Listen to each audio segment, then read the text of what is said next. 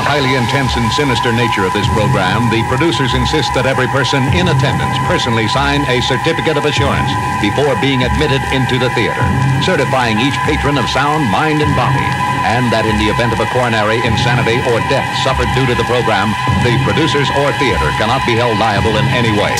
Certificates will be handed out for your signing prior to ticket purchase at the box office by special uniformed attendants.